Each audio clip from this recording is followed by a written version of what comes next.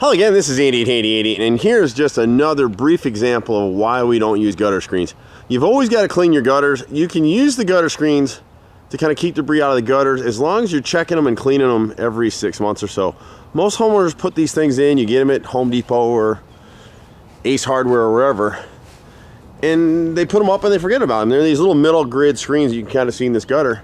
And when we step on the ladder section, you'll see what's happened here now she's got some roof rot, this particular homeowner, and it's rotted all the fascia boards in this whole corner right here. So we've got to rebuild it from this corner here all the way back. But when you get up on the ladder, you'll kind of get a feel for what happens with this stuff. This is all dry rot. And there's a couple things going on here with this roof. When they put the roof in, this is your fascia board right here, and you can see it's all rotted down in that corner. They hip the gutter to flow from about midway that way and then midway back this way to the rear of the house. But because they didn't put drip guard underneath that shingle edge, capillary action sucks a little bit of the, the rainwater whenever it rains up the back edge of the shingle until it hits something. If we put metal drip guard in there, which is a real you know cheap piece, it's not expensive. You can do a whole house for a couple hundred dollars, two, three hundred dollars. But without it, it causes all this rot in here, and you can see where her last row of shingles, you see that divot in the roof right there? That's because the decking there is rotted now. So that needs to be replaced as well.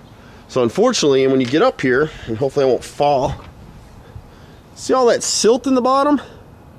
That's what we talk about grit and granules from the roof line. Every time it rains, gradually over time, hail damage will knock those grits off of the shingles. It winds up in your gutter. So whether you've got gutter guard, gutter helmet, or these little screens, you wind up with that silt that forms kind of a sludge mud at the bottom of the gutters. This is an aluminum gutter. We can save the gutter, but she's got a bit of work to do here.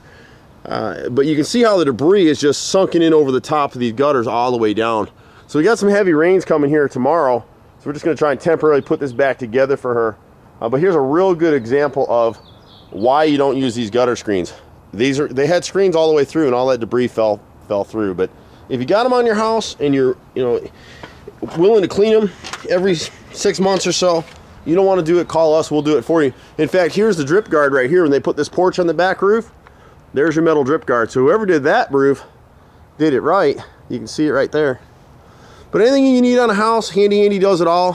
From little handyman type repairs, honeydew list, uh, to full house remodels, renovations, paint, you name it, we do it. Give us a call, 770 912 2829. Take care. Bye bye now.